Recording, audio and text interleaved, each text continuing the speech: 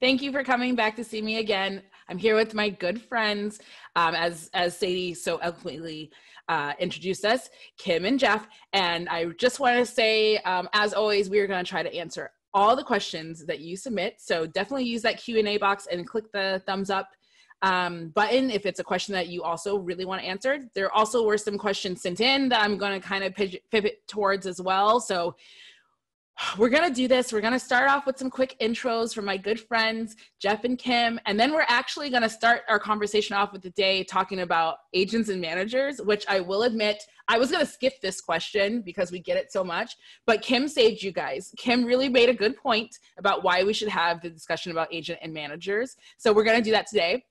But first, I wanted to introduce Jeff Howard, who is with us again before he was here two weeks ago, and now you're back, Jeff. So hey, say hello to the people. Tell them what you're up to lately. Uh, same old stuff. Hiding in the garage and typing. Hi, everybody.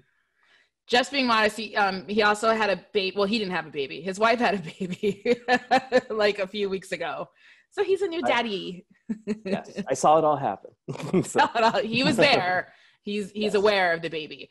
Um and next up i'm super excited because we've been twitter buddies for a while but we haven't met in person. Um is kim garland. Yay! Hello. Hi everybody. Um tell the people what you've been up to lately. Um so i just staffed again. So you know so i've had a chance to now uh, do pandemic zoom staffing and now i'm in a zoom room so it's a whole new world. Um, so I'm now on a new Netflix show um, to be announced, so I can't say anything else. But it's like a horror, sci-fi, um, but you know, light tone. So hopefully it'll be you know a lot of fun. Awesome. And we are going to start with you, Kim, because like I said before, you guys, we had this, we had so many questions. We always get questions about agent and managers. And if you look at our past videos, we do answer them very thoroughly, but never in the specificity of the genre for horror and sci fi. Um, so, Kim has a really great story about how she got her agent, right? Or your manager? Manager. Your manager. So, mm-hmm. what can you take us through that, please? Yeah, absolutely. Um, so, I've basically broken within the last year. Um, almost exactly a calendar year ago, I got into the Women in Film slash Blacklist episodic lab. Um, and previous to that, like I'm sure so many of you, I was 10 years, you know, hustling, trying to get in, trying to get work, you know, doing all the things that we do. Um, when I got into this lab, one of the things that I was doing in the year leading up to it was really thinking a lot about what kind of stuff do I want to write. Um, I absolutely love horror. I love sci-fi. I really love genre work. Um, and I, I was asking a lot of people, are you better off being a specialist as you're trying to break in? Or should you kind of like spread your chips around the table and say, you know, I can write anything, just, you know, kind of pick me? Um, and the answers were mixed, I'll say. Some people thought one way, some people thought the other, depending on their own experience. I decided to lean into the specialist part of it. Um, and so, starting basically with the interview for that lab, I started talking about myself as being truly a genre writer, which I is my interest and, and where I'm excited, um, but not really trying to expand and say, but I could also do procedural if that was available, and I could also do this if that was available. But really saying this is where I'm comfortable, this is where I'm knowledgeable.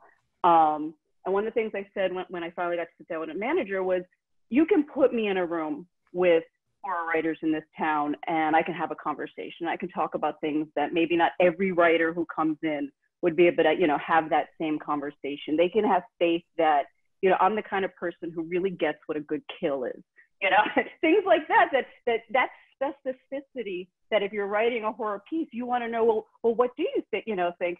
So when i got the chance um, after getting in this lab to sit down and, and start meeting with reps um, i told the person who eventually went on to be my manager from three arts um, i told him yeah i am a genre writer. I am specifically excited about horror. Um, i also write sci-fi um, thrillers but i would love to staff. I was specific about that and I would love to staff um, in horror TV. And so I was really specific. And so, you know, that could have burned me if he'd been like, there is not enough. There isn't a ton of horror TV. So that could have been the first thing that, you know, mm-hmm. that cut me off right there. But that wasn't what happened. I'm, I'm a Puerto Rican descent, so I'm a woman of color. Um, and I got the impression very quickly that coming across his desk were a lot of people looking to staff you know, non-white male writers who specifically wrote horror because Mhm. he got so excited and he was like, you know, basically, I know exactly what to do with you. Um, and I think that's so much of what we're trying to do in that break-in stage is we want to feel like we're not, you know, um, uh, limiting ourselves and, and take, losing opportunities. But really, what you I found from you know my experience, what you're trying to do is make it really easy for people to think of you for specific jobs and talk about you to other people.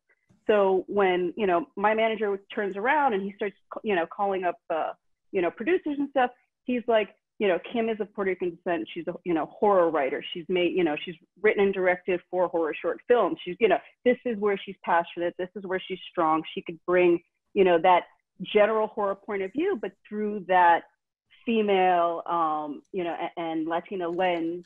Um, and I think that just made it easy for him. And I think that's so Yeah. much of what we want to do with when you're trying to get repped is imagine a game of telephone. Like, what do you want your rep to walk away with, um, or your potential rep, to make it really easy for them to get on the phone and start recommending you and connecting you with specific jobs. So for me, I, I think if you if you know people on, on here are horror lovers and they're Mhm. writing horror or sci-fi or genre or whatever you know is, is your specific, lean into it. And at least for me, it really worked to be that specific. And Jeff, um, you mentioned too. It's sometimes it, it's a, it's a, a choice you either make for yourself or a choice that's made for you, but you have to do it either way. Yeah, she's exactly right. You end up as a specialist uh, for a long time because that's the best way to introduce yourself. It's it's like a pop song. You want to be remembered. You know what I mean? So you are programming your agent, you're programming your manager, you're programming everybody that you sit down to meet with. This is me. This is who I am. This is what I can do. And you do the same thing with your stories too. Um, it's absolutely right. Eventually, you hope to try to. I think all of us hope to branch out and do different things at different times, but start out specialist and then slowly feel your way out. And I would say for my, myself, you guys, I, I tell you this, if you've been to uh, these panels before, you know my story with my manager. I happened to attend a networking event when the world was open and talk to a woman for two hours before I even realized she was a lit manager. And that's why she signed me because she liked me. Um, but as our relationship kept going, to Kim's point, I first started out with her and I was like, I want to do um, everything and features and comedy. And then as you know, our relationship went on, I said, I want to be staffed. And then it got more specific. Well, I want to be staffed on a one hour drama. Then it was like, well, I actually want to do genre because I actually have credits under horror genre and I don't have credits anywhere else. So it's easier for people to go, oh, I have a sample script here. Um, so I think, like they're saying, it's just important to what do you enjoy? I got pigeonholed into it actually to write horror. And you guys know if you're on my Twitter, I love horror. I can watch it all day long. I just didn't think I would be writing it, but that's the work that was being offered to me. So I, I went along in that path and it's done very, very well for me. Um, I do eventually see myself as a big budget comedy girl, but that's later on in the future. like that's my dream is like action comedies. um, so with that said, you guys, the reason why we're here is because everyone in this in this uh, uh, Zoom are big fans of horror. I am wearing, you can't really see it, but it's my Evil Dead T-shirt. Because if you didn't know, Evil Dead was shot in Michigan. It's probably the only notable thing besides Madonna that we're known for, um, and Eminem. Um, so this movie, when I saw it, I didn't see it until I was a freshman in college, and I remember because my film professor was actually an extra in it, so he kept talking about the glory days of set from the 70s when the movie was shot. So this movie kind of piqued my interest really into horror, and I wanted to ask uh, Kim. You recently were working on the Chucky the TV series, but what was your first like introduction into this genre? Probably something much too young. You know, um, I, I get my love of horror from my mom. Mm-hmm. So, you know, I probably have no idea what the first horror movie is that I've seen in probably a great way.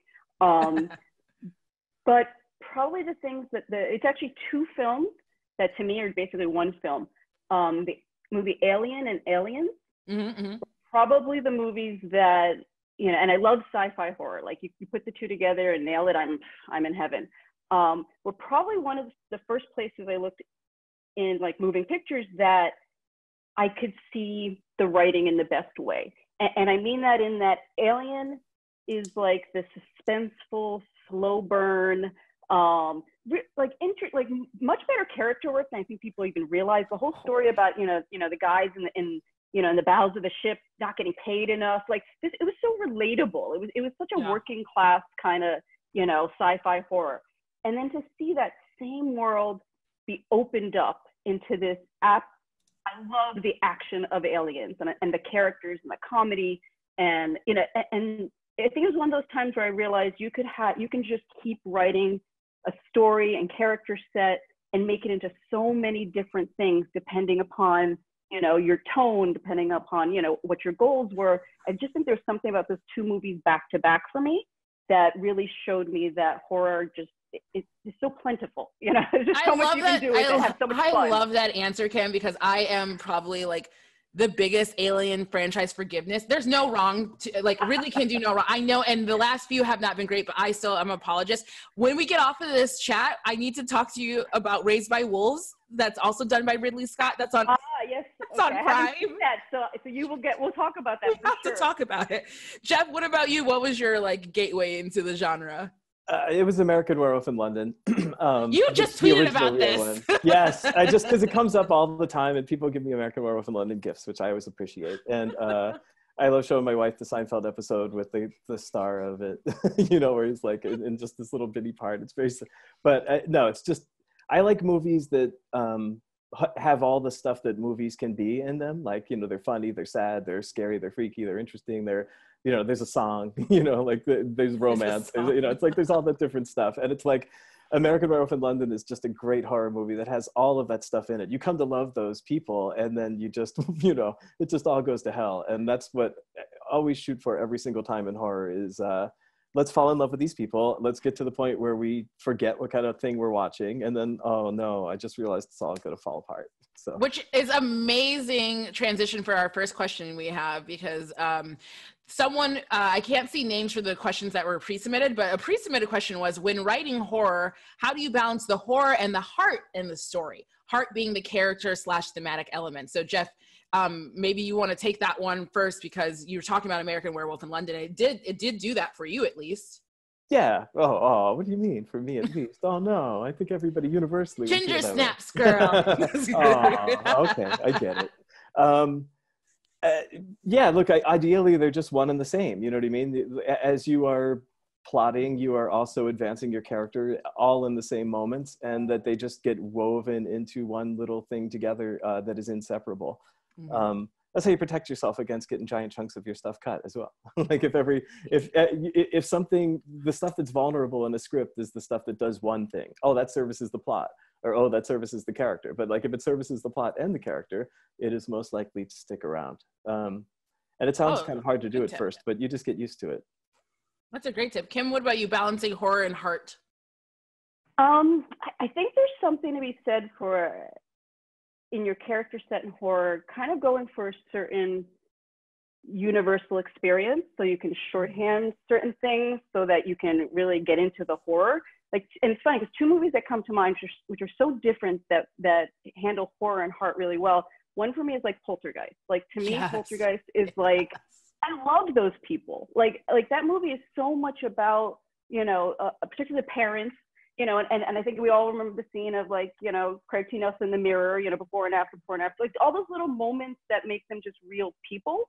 So when the horror comes, we feel we feel terrible for this lovely little family. Yep. And then another one I think does it so well, and it is sentimentality, but they nail it. Is um, Train to Busan. Yes. Um, it has this simple list little story about a father and a daughter mm-hmm. in the mm-hmm. middle of this awesome, you know, like fast zombie film and it's got all this great zombie action. And truly, at the end, I've seen a number of times I cry. And there's yes. a scene at the end I am just bawling. And, I felt like it was such a great example of, of you don't always have to develop the, the most complex characters and even the most complex relationships, you know, and particularly if horror, because that film is all about the horror. If you can find a way to kind of shortcut something universal that we can all, you know, uh, imagine, which is a parent-child relationship, and then you know just yeah. kind of land it right, and you've got kind of that combination of horror and heart.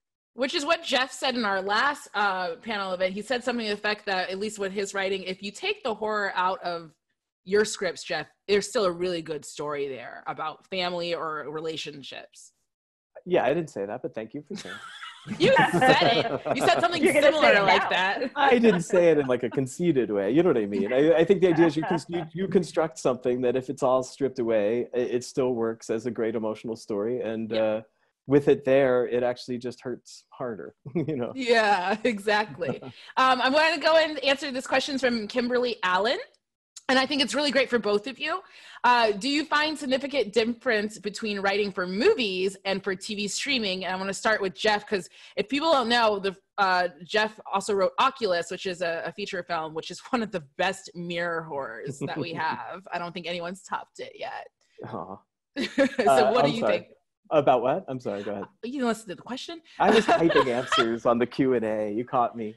Uh, what's the significant difference between writing for uh, feature films yeah. and TV slash streaming? Streaming. I, TV, there's other people there, you know, and in features, you're sitting at home and you're alone and everything. So it's like that's the biggest difference is getting used to other people there. But the good news is they all turn out to be, uh, you know, like lovely and wonderful and a lot like you. And it's kind of like the high school you wish you had always attended. Like instead of being scary, it's actually just kind of fun um, even the Zoom thing has been kind of fun. Like I ended one when we were at the beginning of this. And I think Kim will say it's like I, I, would like to start one where I didn't know anybody first and was and we're in there. Um, you know, movies are contained and finished, and TV is like you're perpetually writing Act One until you're suddenly writing Act Three. You know. Yeah. um, and, and with streamers, it's really like what you always wanted. It's a really long long movie you know like with the, it doesn't have to be broken up into chapters it doesn't have to have a structure um, you you are kind of like obligated, I think, to deliver a big scare and a couple of tingles and a couple of chills in every single episode. Um, otherwise, I think you're kind of,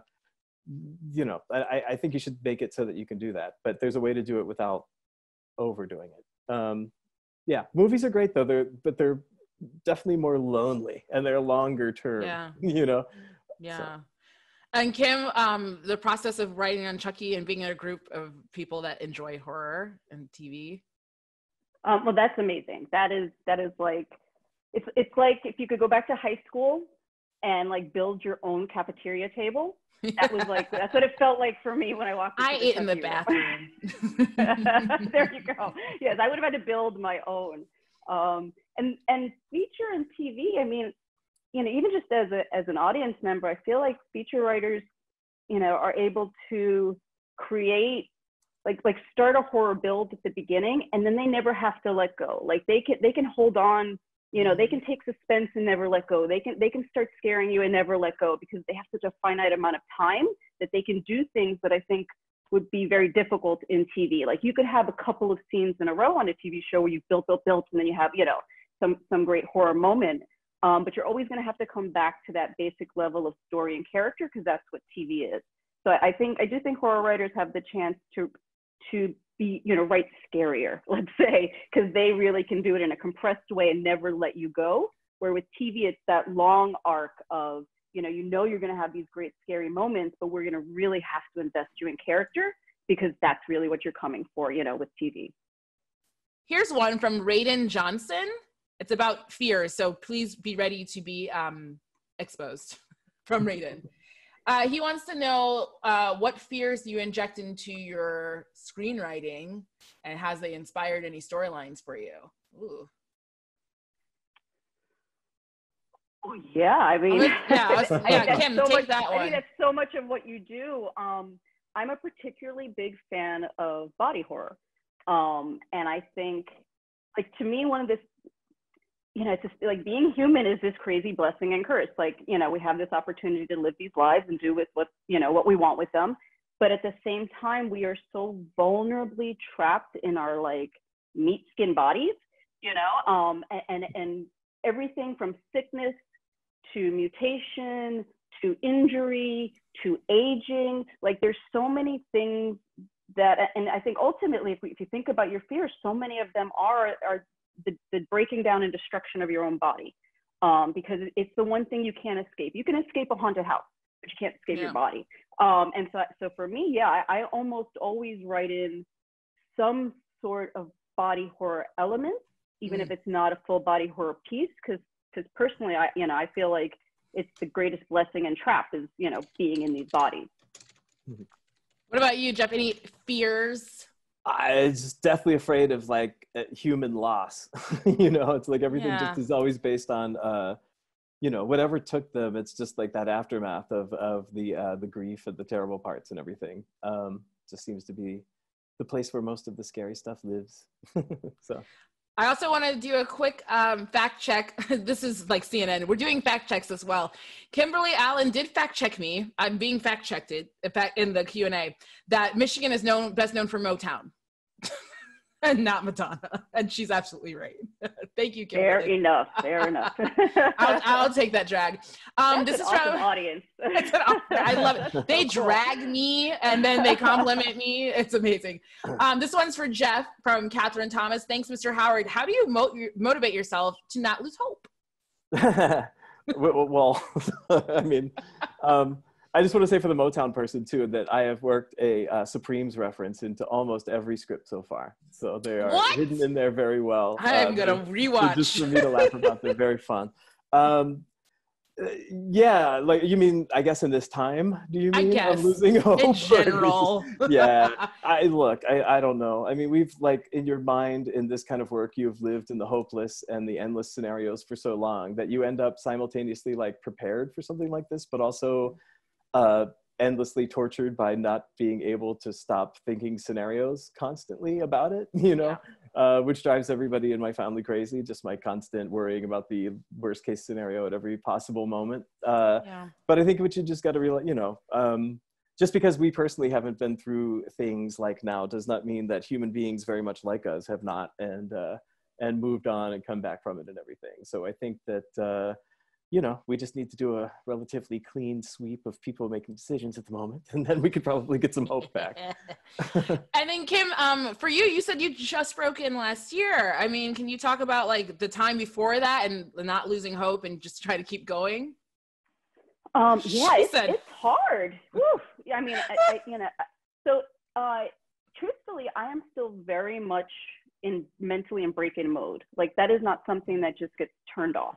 Mm. Um, and and I've spent this last year trying to like I didn't have goals beyond getting reps, getting staff. Like I didn't have goals there because it was, you know, I felt like until I can crack some of those you know ways to start making work and getting paid for it which i need to do um, you know i felt like i would always be looking at something and not focusing on that next step so like this year i've had to you know i have reps who are asking me you know what do you want to do where do you want to go where do you, you know and and i'm still figuring all that out right before Yeah. i got into the the lab that actually was the one that that did it for me um, i had had like one of those dark nights of the soul um, Yeah. I had applied to all of the network fellowships. I had applied to all the top contests. I did all the things that we do. Um, and I got nothing. You know, I got like a little contest nibble, zero second round on the fellowships, like completely zero. So if you're, because I know right now is the time that a lot of that is coming back. If you're sitting there going, I got nothing, well, I didn't either. I had nothing out of those network fellowships. Um, yet that exact same script turned around and got into this lab. So as Wow. I, I was Yeah. kind of wrapping up that season and saying, okay, I didn't, this isn't it. This is, another year's going to go by. I didn't, you know, manage to, to break anything, you know, this year. I had this day where I just kind of just started crying and I was like, my poor husband just telling me, I, it's been 10 years. This is just never going to happen. You know, and it was just so much hurt and pain. Um, and I, and I told myself, okay, I, I give you one day to give up. Like you can give up today. And tomorrow when you get up, just get back to what you normally Back- do. back Just, to you know, do your, do your thing, whatever you're doing that day. On the day that I gave up and I let myself despair, I had no idea, and this is total fact, in my spam box was an email from the lab telling me I made the semifinals. Ooh. So I had to go through that process of like turning myself around, getting back up on my feet and saying, no, damn it, I'm not quitting without knowing that something really exciting was happening. And I always feel like that's like some crazy gift I was given. So it didn't have to be that external validation ultimately that got Yeah. me out of my cry bed. Um, you know, my my bed of despair. It was me. You know, I every single time I figured out how to get up and do it again. Um, and I feel like ultimately that's going to do me so much more good moving forward because there's so many other things to cry about on the other side too once you've broken in. So it's like you got to figure out what gets you out of bed and be like, you know what, screw it, I just love doing this, even yeah. if you know if, if it leads to nothing else. That's a good motto to have because I, what I always tell myself is like, what's the other option? I'm here. I've been in LA 11 years now. Am I going to go home? Like, what's the other option? I got to keep going. Um, this is a great question from Stephen Noli. I'm going to have Jeff answer it first and then Kim. How do you write jump scares in the script without using the overuse suddenly or out of nowhere? Uh, yeah, I use a lot of dash dash. You know, when you get too. to the end of where a sentence would be, and then just go, you know, like, and then you walk around the corner, dash dash, and there it is. you know, it's yeah, like the yeah. next line. You know, yeah, just don't, I mean, don't overdo it, but I uh, I really overdo it problematically. so You've I earned it. Something last night, and I was like, that's strange. so. Yeah. But I look. I think subconsciously it tugs the reader along, and that's really what you're doing is making sure that the you know people reading it at every level are you know continuing to flip pages in an excited yeah. way. Kim? You know the dash dash that, that, that I, dash, I don't know what that is. It, it's basically the concept of it's almost like the dot dot dot. Yeah. like you, you're, you're trying to get the person reading it to like have that moment hold your breath hold your breath boom here it is. Um, so obviously capitalizing you know the next word putting an exclamation point at, you know, at the end of it. So many exclamation is, points. Right i was say part of it and only and only there. If you only use it for a jump scare you know yeah. then it, it and, and really your goal is it's not going to scare the person reading it. I mean that's the reality not with a jump scare on the page. But what you're trying to show them is now imagine i've set it up like this and then a successful jump scare has been, you know, directed and, and edited, and that's what we'd be experiencing right here. You know, with the reader, it's just a different experience. So I think you just want it to be really clear what's my setup to the jump scare, and then what's the, you know, what's the exclamation Ooh. point of the scare. Kim, it's like you and Jeff are in my mind because that is our next question. it's about setups. But before we get to setups, I'm always going to plug this website because I think the best way to uh, learn about writing horror is to read it. So if you go to scriptslugs.com, they don't pay me to do this, you guys. I just love the site. Scriptslugs.com, uh, slugs, S L U G S, okay, one word.com. They have free PDFs of thousands of scripts and they even have a whole section uh, dedicated to horror and you can just read feature and tv um, pdf scripts and you can see how those people also you know described their their scares. But because kim's a, a super witch our next question is how do you deal with scare setups? Do you lean into resort to jump scare red herrings or avoid uh, avoid it due to predictability? It's a good question. Um so so basically this sounds more like scene writing. Um, so if I'm trying to create a scene that is scary, I think one of the first things I actually do, and this is a strange metaphor, but I turn on the lights on the scene. Um, I want to see everything that's happening in that space. So let's say I have my lead character going into a room, and this is where my scary scene is going to take place. I need to know um, does the character go in knowing there's something scary in there, or are they going in cold? So I want my audience to know there's something in there, or do I want them to get surprised? You're more likely going to use a jump scare if you don't tell the audience first. If you tell them first, you're using suspense. Um, I feel like the first thing I want to do is understand every single thing that's going to be happening in this scene with the lights on, you know, as the writer. Then once I know what's happening in that scene, then it's like you turn the lights off and you start shining a light. And this is verbally, of course, to the areas that are going to make this scariest. So if it's someone coming in a room and they they don't know there's a killer in there. Then you're going to have them doing like these little banal things that, you know, and drives you crazy because you're like, he's right behind the curtain, he's behind the curtain. And you show, you know, just certain things to make that work. If they're coming in the room and they're looking for the killer, again, that's a different experience. You, you might shine, the, you might stay completely in that character's point of view because we all know something's going to happen. Um, so, mm-hmm. so for me, I feel like the setup is know exactly what's happening in your scene see all the pieces on the board. And then once you know what effect you're trying to create, then figure out how to shine a light on just those areas that are going to create that effect if that all makes sense. And jeff setups especially when you you know you have uh, something like oculus. Yeah. Uh, yeah you know what's funny is uh, i loved hearing what kim had to say because i just don't think i've ever uh, over intellectualized it you know what i mean? It's like I, this the zone that i try to go into is I am a person watching a movie that is unfolding before me, and I am catching it as it goes by, you know? And so I think as those moments unfold, it's like I've never I've always used the words like, like you say something like, you know, and then you know Larry jumps Lenny by you know tapping his hand on his thing. You know what I mean? It's yeah. like I'm not. I don't think you should be too afraid to point it out either. Um, but I think it might be different if you were a spec versus you were you know what I mean? Like if you were specking something versus something that you were just hired to do and hand in. I think you're much more frank in your things that you're just hired to do and hand in. Like you know what I mean? Because you're not trying to impress a whole bunch of readers along the way.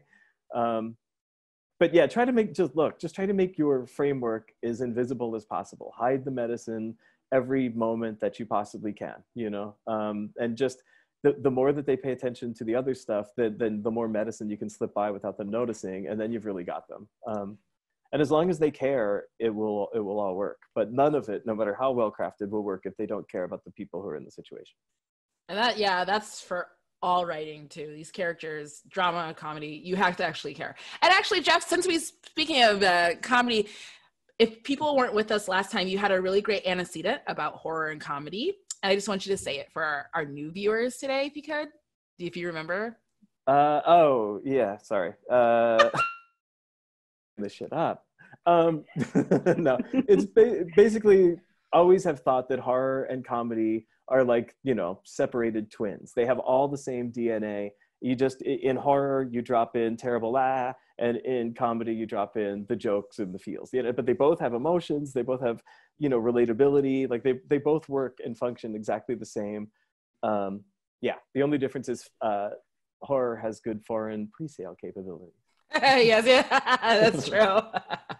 As someone who's producing a, a, weed comedy, yeah, it's absolutely true.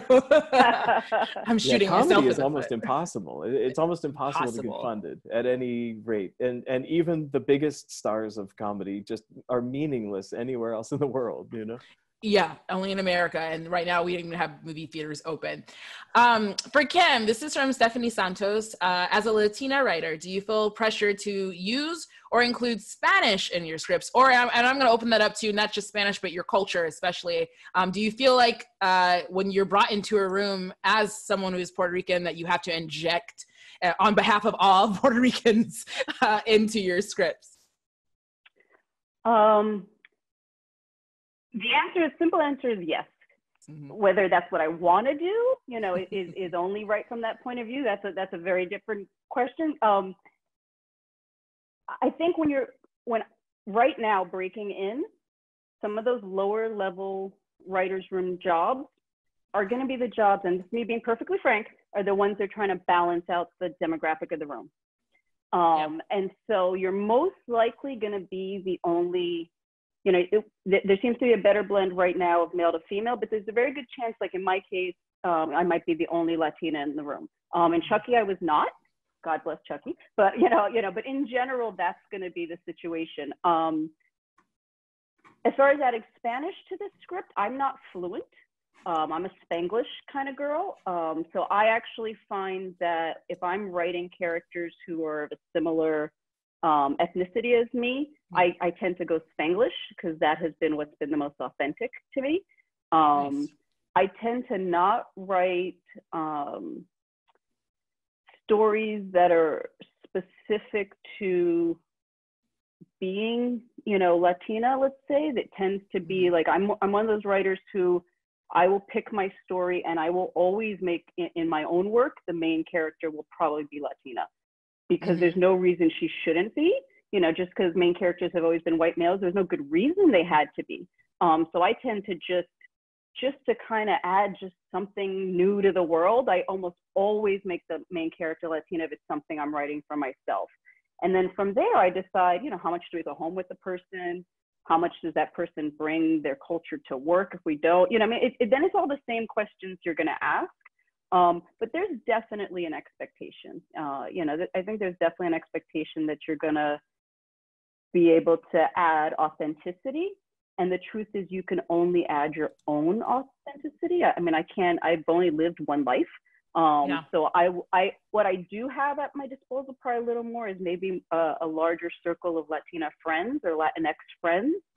So if I'm writing on a story and it's, you know, a Mexican immigrant family, um, and that's not the experience I have. I mean, I probably have a better chance of having knowing someone in my personal life I could reach out to and ask questions.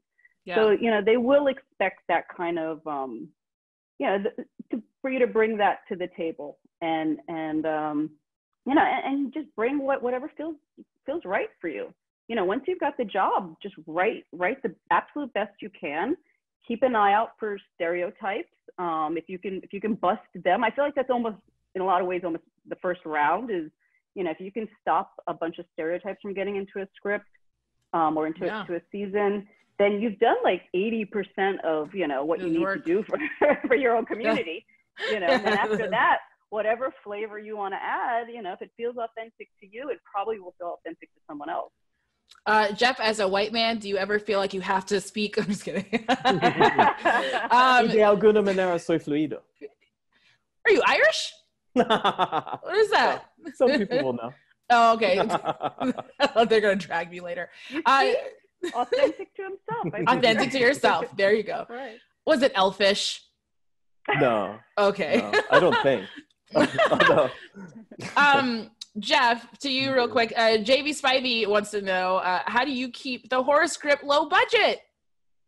Uh, you know, nobody jumps out of a plane. No, the house very rarely catches on fire. There's no volcanoes. there's no uh, what dreams may come landscapes of art. You know, you just you kind of you you you look at the world there, and you um, what's incumbent upon you is to find a way to be interesting and different within that thing. I, I could go the rest of my life without ever seeing one more teenage bedroom with the posters with the thumbtacks and all that stuff and like the little you know it's just like ah just please no more. Um, so just you know go find some nice inexpensive locations where you can get your business done and mix it up. Um, but you are limited you know you are limited by the nature of the thing that you have chosen to work in and you're probably a fan of it anyway so you understand and live in those limitations as a fan anyway. So just enjoy them. Um, you're always stuck to a structure. The thing that you have to do is to be different and fun within that those rules and uh, another question to you because you are now a father of two. This one is from harry heath. Uh, he wants to know real talk here. How do you find the discipline to write? Are there rituals you go through? Because i've been founding procrastination Picture your children at age 11 and 13 living on the street crying with giant holes in no. their hands. You know, no. like that's uh, that's what does it for me. so when I'm awake at 2:42 a.m.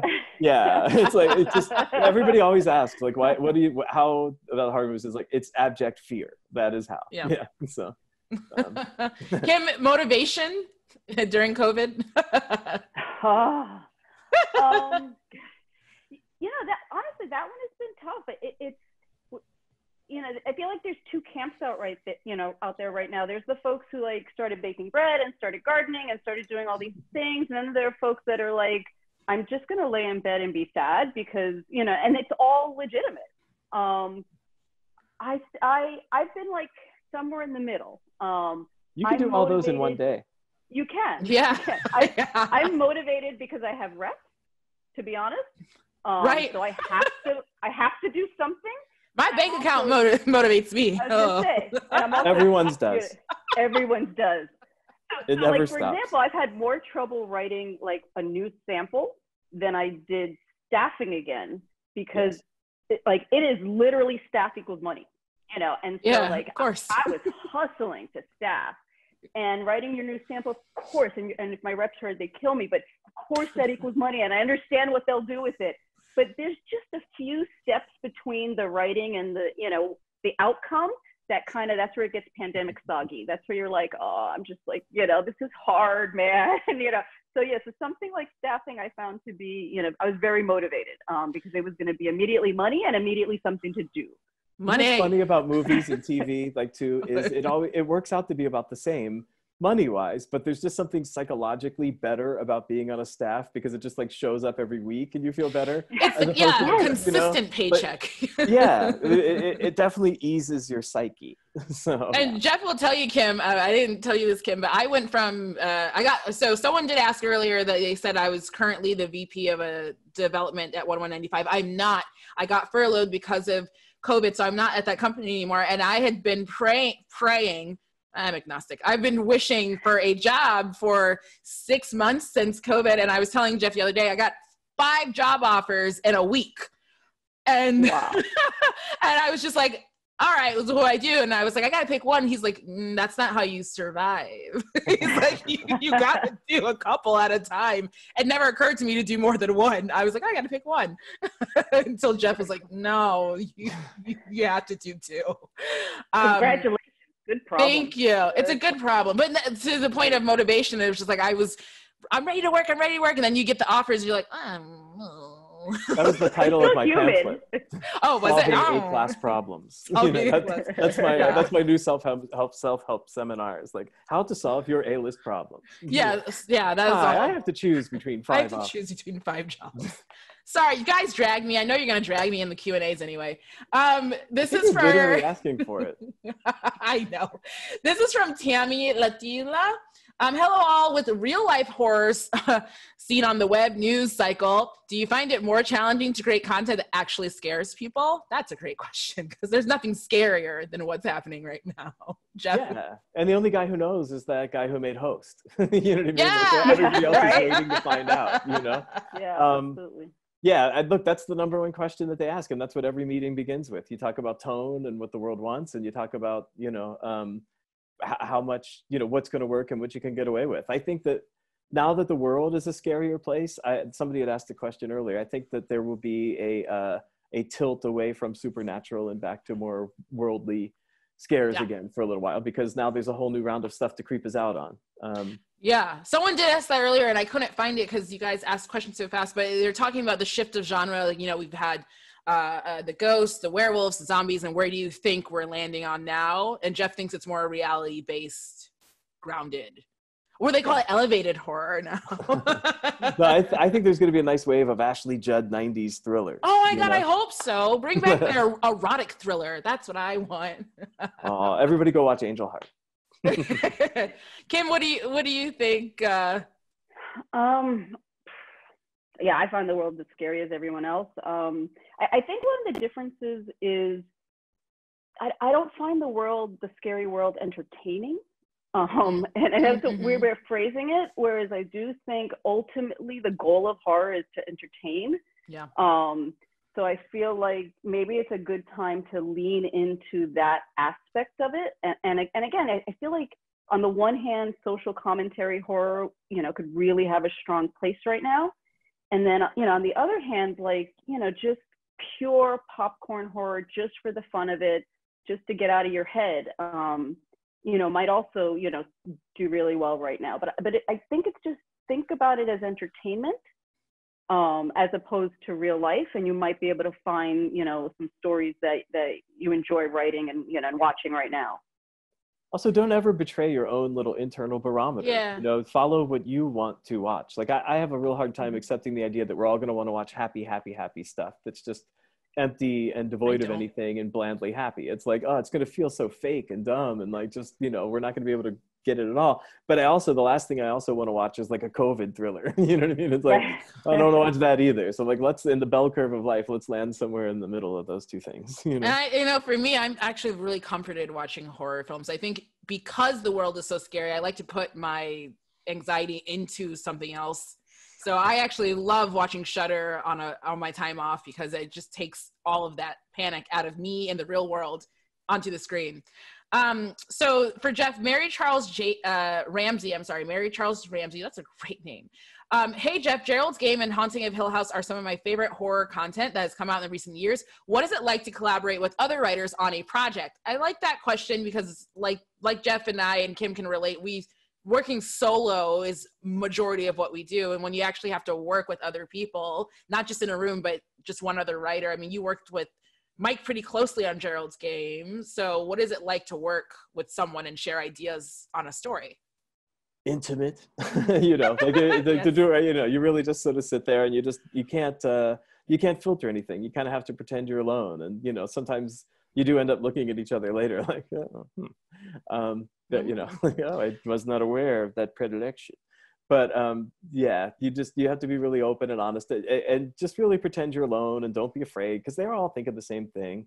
I told you before, and like the first day of Haunting of Hill House, Flanagan made us go around the room and talk about ghost stories. And he's like, Howard, you go first. Because he knew that I had like a million ghost stories. And I told him all. And then like everybody else was like, Oh, yeah, I don't have any ghost stories. Oh, yeah, I've never seen a ghost. I don't know anything about a ghost. It's like, Oh. So, yeah, so don't, uh, you know, don't worry about it. just, uh, it, it's it's actually kind of fun like it just don't uh, if you don't fear that process of uh, opening up with other people um, you always end up with like a more full thing you know? It's like those bands with two singers and it's like there's this guy sings and then that one sings but when they sing yeah. together there's like that third voice. It's like the, finding those extra little third voice things are always really cool.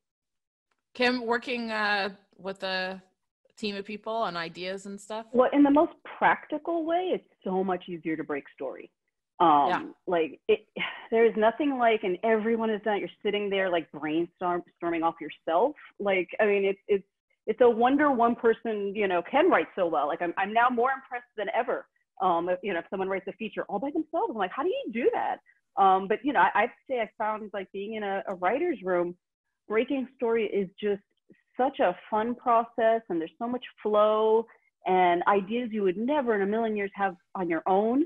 Um, other people would bring in, and then you find yourself building on that idea and adding something of your. You know, I just I, I think it's such a wonderful advantage for breaking story, and, and I want to figure out how to bring that into all of my writing now like how, how do i you know have a sounding board person even if i'm writing something on my own because it, it you seem to get such rich material when you have you know more people you know more brains kind of hammering at those that basic story you know what someone asked me this question the other day and i kind of laughed but it was it, it's a good question because they are not horror fans and everyone who's not a horror fan wants to know do you ever get scared writing your own horror and I was had to think about it and I went, I don't think I ever have. Have you guys? I've never been like, oh, I'm terrified. I can't write anymore today. I, I mean, I cry, I cry yeah, all yeah. the time at the emotional stuff. Like, yeah, it's emotional uh, for sure. Definitely end up doing a lot of crying, uh, but uh, like scared. I, I went this director greg mclean all these horror directors they're all so scared of stuff like I, I was sitting next to him in a screening room and he's a really nice guy we're watching this movie and like every 10 seconds he's like ah, ah, ah. come on you can't you got to be able to see this coming it was very, yeah. very strange so i just yeah i don't know. I don't I, I i don't get scared by the movies or the page so I, I am a little scaredy cat in some movies, but I'm not like an outwardly jumper. I, you know, but you meet the people and they're all so nice and lovely. They're all so it's nice. Like, oh, it is. all made up by these like lo- you know very nice, wonderful people. people. So horror people yeah. are lovely people. Which quite, I have a question for you guys, um, because it is such a lovable, uh, lovable group of people. Have you guys done the the uh, fe- not festivals? What do they call them? The uh, what are those events? The horror the Convention. Comic-Con? Have you done the convention circuits? Well, I I've done it because I was making um horror short films. Right, right. And so so um for a while I was touring with um a group called Geek Fest, which actually mm. screens at Comic Con. Um and nice. so my work and myself got to go to Comic Cons and screen and things like like a great one, um, and this wasn't through Geek Fest, Dragon Con in Atlanta is an amazing place to screen. Um, I got to screen at LA Comic Con. It, it's it's it's super cool. Like the first time I screened at a con, you know, at Dragon Con, um, I was doing kind of an undead piece, and there was in the back row was a whole row of people cosplaying zombies, and like, and it was like the best feeling. I'm like, here I am I putting zombies. like my little spin on the undead, and I have all these zombies in the background, like leaning in watching. I was like, oh, I love horror. I love horror. Um, so I think it's a super fun environment. Um, I go as a fan, and I go anytime I can get invited. Um, you know, on the filmmaker side of it, I, I will be there. Jeff, have you gone? You should. You have so much no, material. I, I definitely fear crowds of people or being oh. in a place or having to, you know, like talk to them. it would all it would all suck. so uh, Sadie's still watching this. You better get him to a Scream Fest or a Comic Con soon oh, at some God, point. No. Get him there. I would I would have so much anxiety ahead of That's that. That's your fear. Be, that would you wrote horror films for a career, your fear is the other t- talking in it's front of. It's all made up. It never happens. you know, it's I'll, like I'll go with you, Jeff. I'll, I'll keep you safe. Thank Don't you. I- that- that sounds better. I could handle it. Thank you. so if I could wear a costume of some, you know, like, not that anybody, but Yeah. just to like, Cosplay, Nobody will not it's not that anybody would have any idea, you know what I mean, but like not, yeah, just that, uh, yeah, that would be fun. You're tall enough to be a Michael Myers. You'd be a really cool. I barely achieved full adulthood in, terms, in terms of height. um, this one's from Andre Barnwell. I know Andre. Hey, Andre. I think, um, yeah, I know Andre. Um, uh, writer slash director versus writer in horror pros and cons. Jeff. I, I mean, I'm not a director, but uh, I work with I've worked with them pretty consistently and constantly, and working with a couple now who are both fun and interesting. Um, directors are awesome uh, as long as you don't worry about uh, connective tissue and emotions and feelings and things that tug you along and the character arcs and things that make you relate to the people. But uh, otherwise, those, are great. No, just, sorry, guys. But uh, like the directors, like have this. Directors would, left alone, would make a movie that was just all the great parts of a movie strung Right. together, uh, Right. without like worrying about whether or not we would understand. So they Yes, always exactly. back me up, and it's like sometimes you have to say, "Look, these are these are eight fantastic ideas. Let's write twelve scenes around them that that support them and make them work. And we're really going to have something." so if you're a writer director just beware uh, have a good self uh, filter you know like uh, have a good editing capability for yourself um, or just be so preternaturally good that uh, everything you do is fantastic And then, um, really quick, because we, we don't have a lot of time left, but there's some really interesting. You guys are getting really, uh, really down and dirty in these questions over here. Um, one that that stuck out to me, and I, of course, I keep losing it. Um, someone, okay, I remember what it said though, because I, I lost it, but I remember it said someone uh, wrote in that he is crafting a horror character, and the the villain, the the monster is black um, and that he's trying to find a way to set, to do that because he's being told that that is not correct and you cannot have villains as different races because of the time we live in. Um, I know for me, I want to say I did write a whole article about crafting black characters in the horror sphere that is on Final Draft. You can go check out that blog. Um, but Candyman, which has been pushed back to next year, um, is the only one of the only black monster villains we have in the series. Besides, obviously, if you go back into um, Tales from the Hood, and I think I want to say um, Eve's Bayou. It is a very thin line to cross. What I will, what I do say in the article is, if you are not a person from that background and experience, uh, you should, like Kim said earlier, consult someone who is from that background and experience to make sure that you are cr- actually creating a monster for the sake of a monster and not a monster because they are black, if that makes sense. Kim, do you have anything to add to that? Yeah, so, so obviously Thank you, is the hard Sade. part. yes. It- it's um you know look i i wish we lived in a world where we could all this is what you hear all the time we should all be allowed to write anything you know? We're writing from our imagination we should all be able to write whatever character whatever story you know we're making it all up anyway. And i wish we lived in a world that where everything was so equal that representation on screen you know we had so many black characters who were so good and so bad in every single you know iteration between them that when you make a choice it doesn't feel pointed um, Yeah. but we don't live in that world. And so i feel like there that I, I actually feel like this i give the person who asked this question a lot of credit because it's exactly how you should be thinking. Um, you should be thinking to yourself you know why am i making this choice? And, and a lot of people are thinking to themselves because i'm trying to create more representation. And i love that answer. I love saying does this character have to be white? Could it be something else? Um, but at the same time remember you're working within a world that is not equal and and you know and, and there is no you know parity in, in so many different areas. So yeah you're going to want to reach out to people get other people's gut checks on it um, and then frankly be ready somewhere down the line. You know if you're not a person of color and you're writing person of color characters execs could get nervous.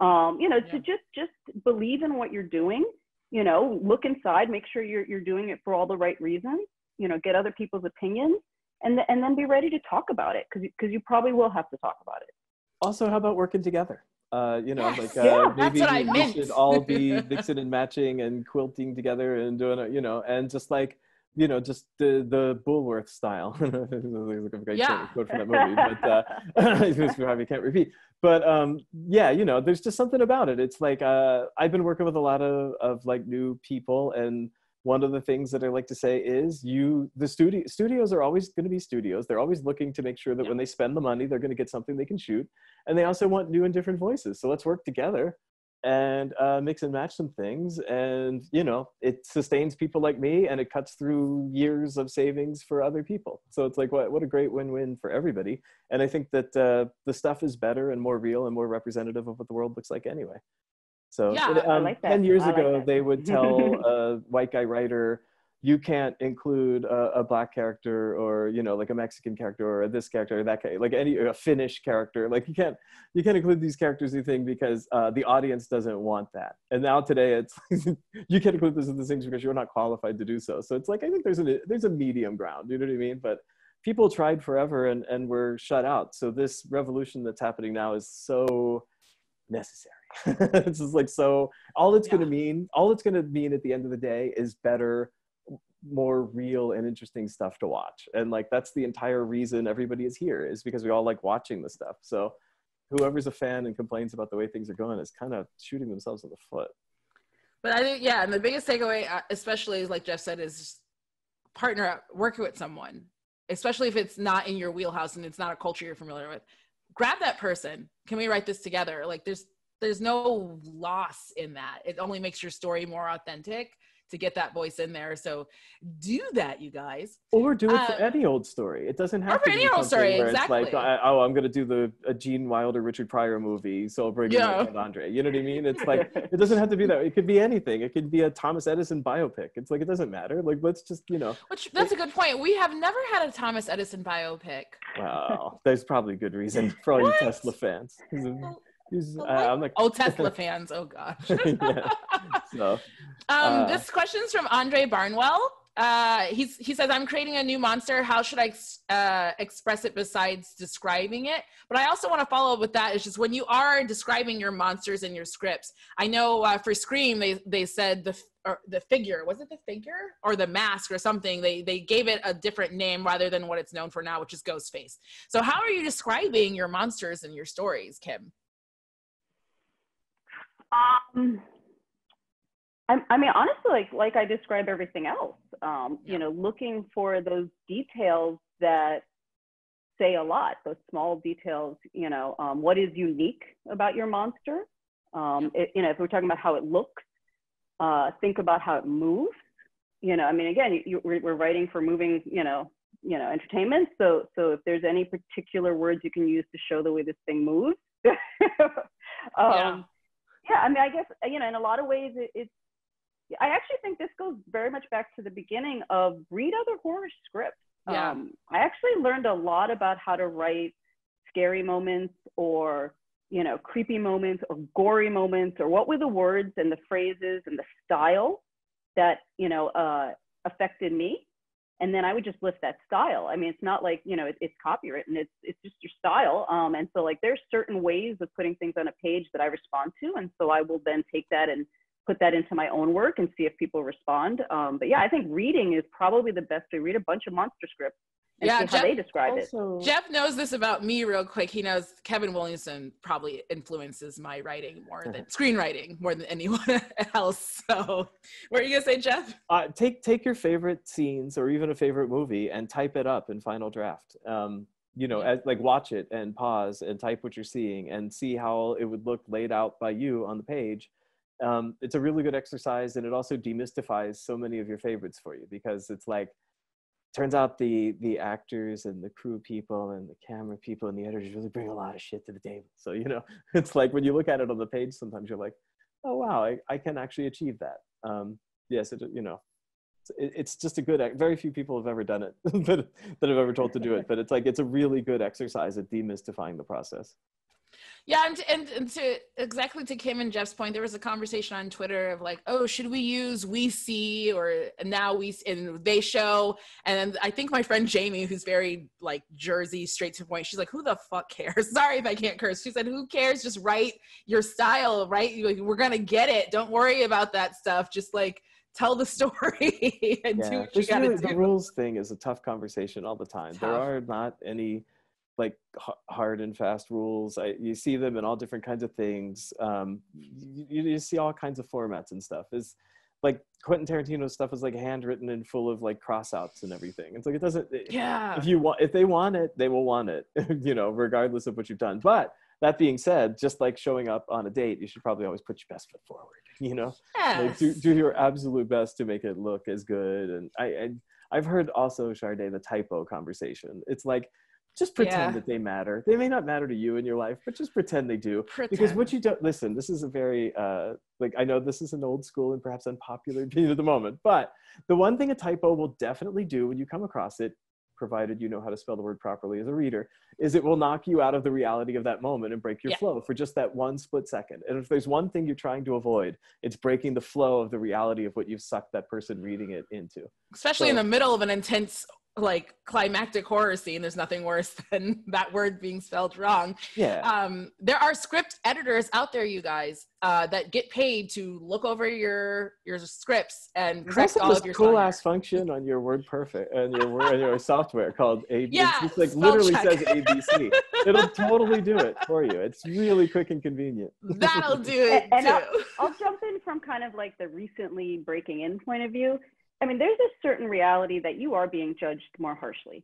Um, a- and, Yeah. you know, if someone who's already in the industry, someone who already people trust, um, can get away with just truthfully a lot more um, than we probably could.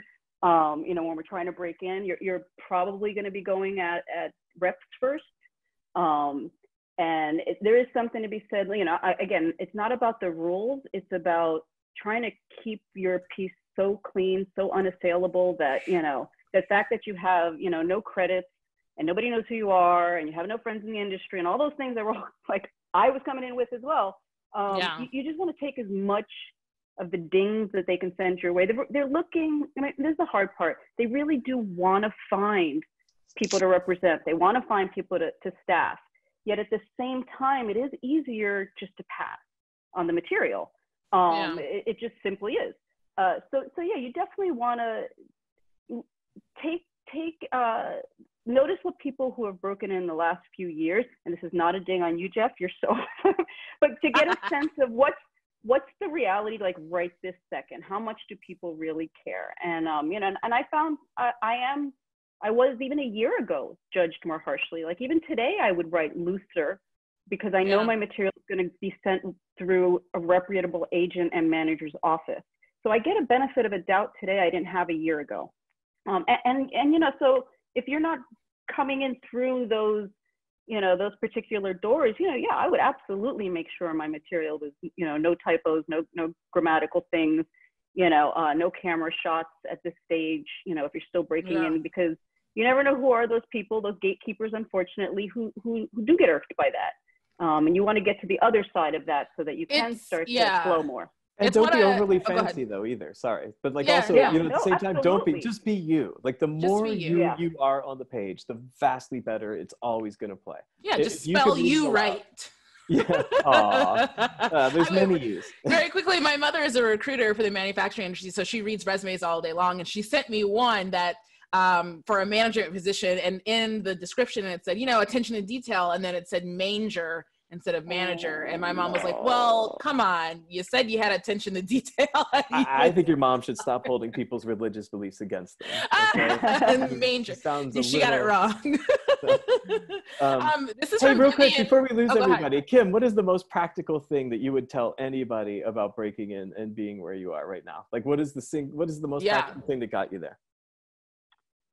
Um, I, I mean, I guess it really, the truth is it's all about the sample. Um, I, have so many people in the last year have wanted to pick my brain about my experience. And I, my gut tells me when they're going around every single, the one answer they don't want to hear repeatedly is it really is all about that sample. Like you want me to say it's networking, you want me to say it's a lab, you want me to say it's a contest.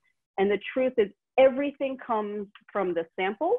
Um, so, so yeah, just really keep your head in the writing part of it And when you've got the right sample, it is shocking how things will start to happen. It's all about that material, whether you like it or not. Especially agents and managers and things, right? Everybody shows up Absolutely. after you've put in the work and finished something that you can Mhm. hand off and people can read and go, whoa. So yeah, nobody ever wants to understand that about uh, reps, but reps will appear at the time that it's time for reps to appear, which is Yeah. right about Yeah. the time that a deal is just about to be done. So if you my like my big piece of practical advice would be pursue producers. Uh, we all everybody Mhm. pursues managers, everybody pursues agents. Producers are out there. They're usually very friendly. They ha- usually have staffs who are pretty friendly.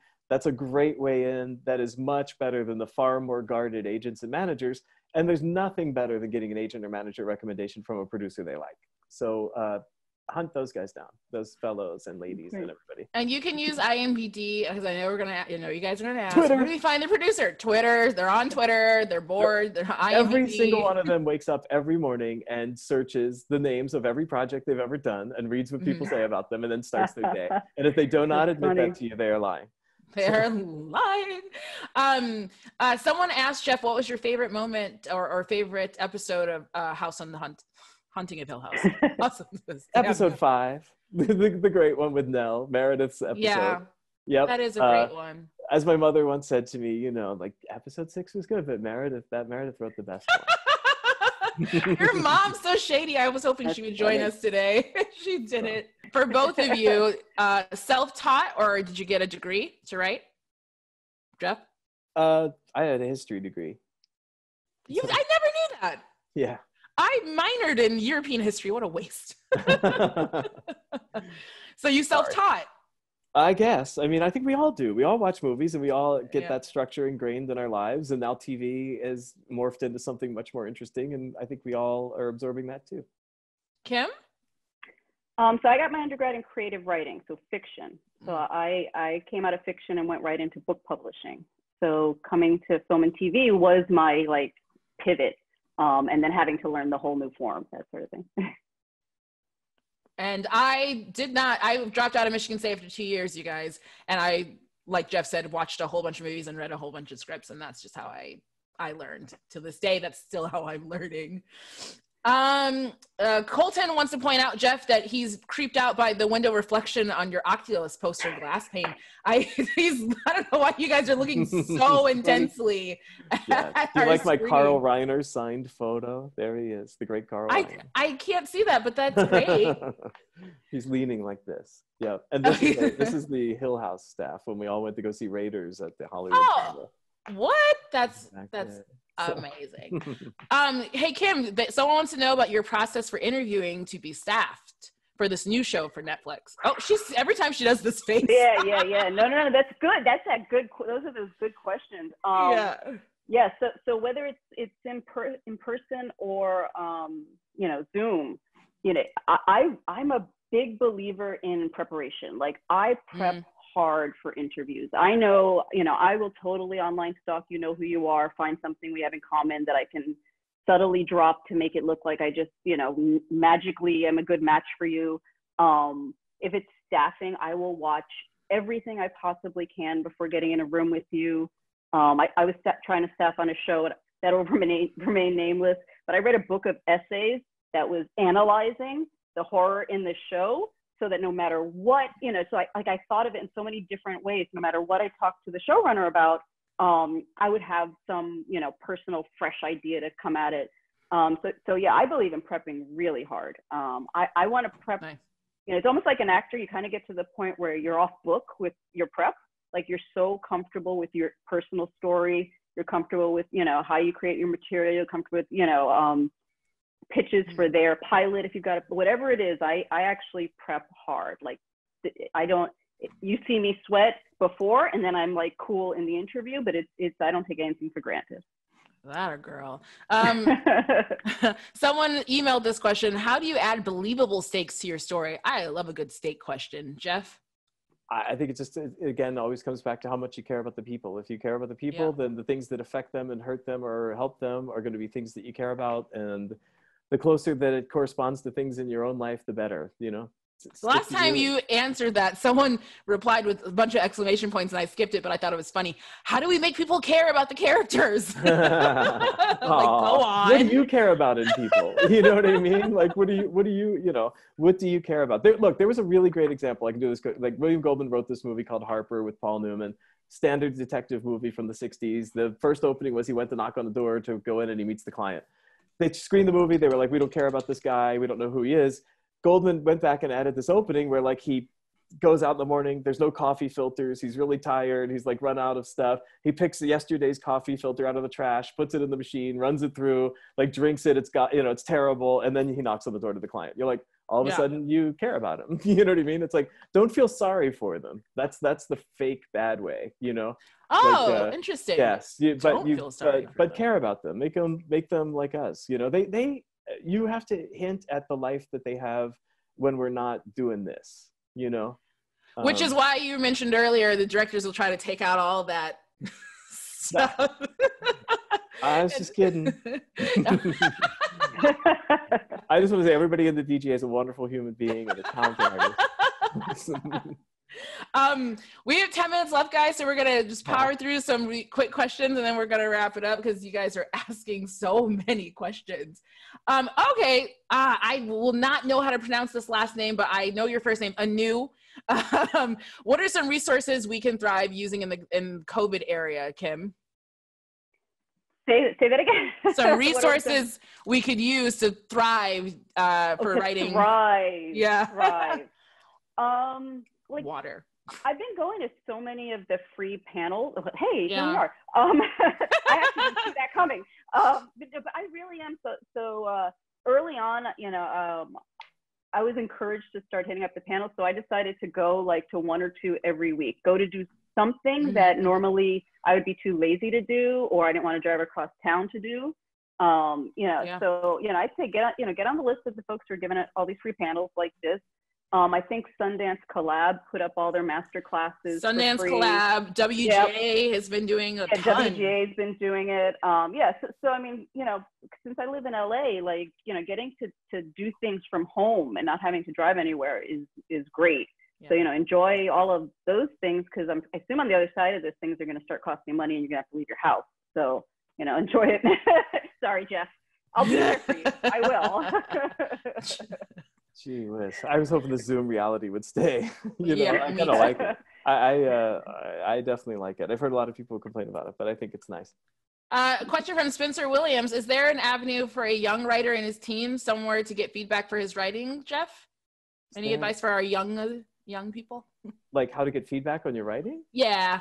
Uh, you mean from just like, oh, I mean, yeah, yeah there's just, a resource you know pursue people on twitter you know uh, get to know them like use use your friends and your trusted people have a couple of things but it's not that difficult to make some nice industry relationships you know go you know follow them comment on some stuff when it's appropriate they'll reach out you know you hear us um, say Twitter over and over again, guys, because it actually does work. Again, I met Jeff on Twitter and I met Kim on Twitter. Um, because there's you know, a huge, like, want to admit it or not. community. Yeah. Yeah. Yeah it's a huge film community on Twitter. So I always say like try your best to stay out of the BS that happens on social media, you know, do your best your ability and, and just focus on your craft and other people who are like-minded as well. I don't argue with strangers on Twitter. I don't have time. uh, so I don't want to. I don't want to do that. Um, to unfollow my uncle Keith. Well, someone on in this Q and A said you blocked them on Twitter. Me? yeah. Ooh, that's a that's a story I want to hear. I, hey, I can tell you every person I've ever blocked has under 10 followers and no profile photo. And I just assume you're some like Russian bot trying to harm me, you know? So if that's you, yeah. I apologize. Sorry, don't take it personal. Add a photo, dumbass. don't take it personal. He really, I don't know. Twitter has been blocking a lot of people. I, I, yeah, I just assumed that you were, co- every time I make some subversive, you know, some angry political thing, there's always these like less than 10 people without a thing who end up following you. So I just routinely block every one of them because you just don't know. Like, what do I, you know, what do you want some, you know, can't take that. Right. Um, Talia uh, Reister, she wants to know how old you were when you first sold your own screenplay written work. But I also I want to know how old you are when you the agents in question gets asked a lot, where you actually felt like uh, you made the right decision to be a writer and it was working out. Just like never, never. It's still not. Oh, Kim? yeah, Kim. I was 29 when I sold my first script. Um, wow. Yeah, and it was uh, yeah after like seven hard years of trying, you know, and like four or five like really heartbreakingly close scenarios, and uh, one giant ass lawsuit. 29. I was 28. I beat Jeff by one year. So I have not sold the script, so so I'm off the hook on this question. I have not. No, no, but you got staffed. So. Um. So I'm in a second career, so I will tell all of those who are in the second career of their lives, it totally happens. Um. So yeah. Mm. So since I'm already on the other side of career number one, yeah, you you don't. I think that honestly, that's where that specificity comes in handy again is yeah. um, if you're trying to break in and you're not in your 20s and you, you people keep telling you that uh, you know that, that that's going to be a problem particularly for staffing people will say that even more so for staffing um, then you want to look at what has your life experience um, given you that someone else may not be able to bring into a room um, and a lot of people that's a profession that first profession gives them a specialty that ends up helping them get staffed um, for me, honestly, part of what helped me get staffed was, um, you know, I grew up in a funeral home family. So I, I grew up above Ooh, my family's funeral home. And um, that is like an evergreen story. So, you know, there is no horror room that doesn't see the advantage of someone who has been around, you know, embalming and been around, you know, the grieving. And actually, if I can tell a really fast story that's like, yeah. incredible that I'm here with Jeff. Um, when The Haunting of Hill House came out, um, I, I it, everything about it screamed, I'm gonna love this show. And I started watching it, and there was the part of me that loved it, and it is truly one of my favorite horror, contemporary horror series. Mine just too. fact. But there was also a part of me that felt like I missed my opportunity to break in. Like, I mean, you, you, when I realized you were going to have a fully realized funeral direct female funeral director character, and you were going to have, you know, that I mean, the episode was basically a oneer in the funeral home. Like it was that moment where I talk about hope. I was I almost lost hope. I thought that was how I was supposed to break in. That and, and you do feel that when you're when you're working so hard and it seems like everything's against you. Like you see something like that and you think that was the room I was supposed to staff in. That was for me. Well, it turns out it wasn't. I mean, I would kill to be in, you know, uh, in that world, yeah. but but it, we could have used you actually. Out, uh, saved a shitload of Google. Um, but it turns out, yeah, exactly. Uh, but it turns out you're going to take whatever your special thing is about you, and you're going to figure out. And I know it sounds crazy. You're going to make it both specific and malleable. So yeah, I have the funeral home thing, which would have slayed in an interview for Hill House. Yeah, but yeah it did really well in an interview for Chucky. For Chucky. You know, at yeah. the end of the day, you know, I mean, we're about kills, we're about bodies, we're about, you know, all this stuff. Yeah. And like, I have so much comfortable, you know, feelings around the dead. Death. And like, yeah. and the room I'm in now, the, the showrunners, you know, they were so excited. They said, "Oh, I wish I'd grown up in a funeral home." Like, if you're going, you know, what is it about you that that matches where you you want to go? and really play that up. You know, you know, there's something to be said. So yeah, I thought Hill House meant, wow, is this not? This is really not going to happen if that show wasn't it. Yeah. And it turns out that's not the case at all. You will find that right place, right time, right person. Right. So we'll be yeah. ready. don't worry about your age, guys. Please don't worry about your age. Like it all is going to come first. And to bring this also full circle as we close up, the reason why number five is my favorite episode, Jeff, is because the first time I actually, someone remarked about a dead body not looking dead for the first time before. Oh, yeah. I just lost. Six. Yeah. Well, I just lost my, oh, that was six? what was five? yes. Oh no, the bent leg, bent leg yeah, lady. Anyway, yeah. six was six is one of my favorites because in the funeral home, Kim, I had just lost my grandmother. It was the first funeral I've ever been to, and when um, older Nell says that line, like she doesn't look like she's sleeping, she looks like she's dead. I was like, f. That's exactly how I felt at my grandma's funeral. It's great connectivity. Um, it is. All right, it's universal. last few things. Um, uh, Jeff Clark wants to let you know he uh, he changed his photo, so you can. Un-. Welcome back. You go. You go. Um, okay, Welcome so back. welcome I'll find back. some new reason. so I'm gonna I'm gonna wrap this up here, you guys. We we had such a great time answering your guys' questions. You can continue to ask them questions. I'm gonna start with Jeff. Jeff, where can they find you? Someone asked about our LinkedIn's. I'm gonna tell you right now, I haven't touched my LinkedIn in like Oh. I know. So Twitter is the Yeah. best place for me. But Jeff, where where can you find where they can find I have a vague you? memory of my ex-wife setting up a LinkedIn at some point. I don't know anything yeah. about. Uh, yeah, uh, Twitter is is always the easiest one. It's uh, J- uh, Jeffrey Howard thirty three. Yes. At Jeffrey Howard 33. Uh, Can That's you cool. tell us what you're working on? I know there's a show that you worked on last year that I still can't say out loud, but Oh like no, they announced it. Resident Evil. They didn't. Yeah, yeah, yeah. yeah. So they finally, uh, they finally got, yeah, they got over their shame and they admitted that they made Resident Evil. Okay. Do you have a date? Do you have a date? Uh, they're waiting to shoot. You know, they're going to shoot in Oh, South that's right. So they're waiting to get down there. Uh, it doesn't sound like it's going to be too crazy long. Um, Midnight Mass is shooting now in Vancouver. Flanagan's Midnight directing Mass. every episode. Um, there's seven of them. They're all really good. Um, and I just finished a movie with Alexandre Aja that he's going to go make for Amblin. That's like a choose your own adventure style, I know. version. Uh, and I feel like there's something. I don't know. I'm working with another couple of directors, um, including a really good friend of mine, Juan Carlos Medina, who is uh, somebody I love, and working on a um, romantic action comedy with someone that I met doing a Latinx Q and A classroom discussion. So That's awesome. What does Steven Spielberg smell like? Just really quick. Like Um, money? aw, no, like childhood, like uh, Aw. like always in uh always in golden uh you know golden light like like an amblin thing but just don't take a picture at amblin or you'll Oh. be beaten severely I, I won't. But if you um talk to Steven again, tell him I'm a big fan and he's the reason why I want to become a director. Um, Kim, Kim, uh, where can we find you online? Um, Twitter for sure, Kim underscore Garland. I'm also on Instagram, the Kim Garland. That was what I was able to get. Uh, um, yeah, that's that's who I am. You could ask questions there. I'll I can continue to answer questions on Twitter too. Yeah. So uh, to her point, if there's uh, other questions that we didn't answer today, which is a lot, we tried to cover everything.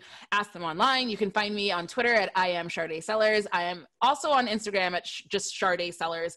Please follow Final Draft and make sure you're keeping up. They're going to do many, many more of these panel events. We're even talking about doing a business of screenwriting one, so you can learn about. yeah, the money, which is because that motivates us to write. I'll come to that one. I'll Yeah, check that out. exactly. I can use that.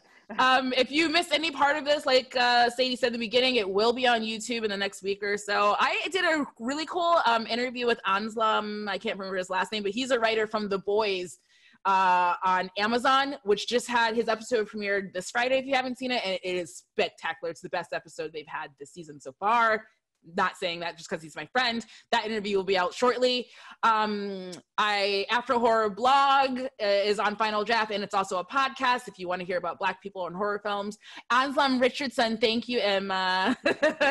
um, but thank you to Jeff again and Kim as always for being here for answering questions on this beautiful Saturday day. I know both of all of us are like going back to work or eventually. Unfortunately, we're all doing something. Yeah. none of us Um, are short of that Never sure of that. And thank you everyone who watched on a Saturday, wherever you are in the world. Thank you for doing that. And um, if you liked it, say so on Twitter. If you didn't like it, keep it to yourself. And I don't give up. All you beautiful people, don't give up. Don't give up. you got We love you all. yes it's just a job really just a job. for sure thank you sadie thank you Sade. nice to meet you kim Bye, everyone. Yeah. Thank you.